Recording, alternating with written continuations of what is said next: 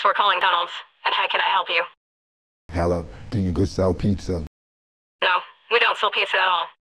But my friend said he bought pizza at McDonald's, and it's just McDonald's, so you must be lying.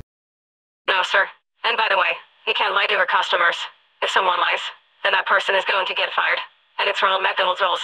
And McDonald's never makes pizza. McDonald's only makes burgers, fries, and ice cream.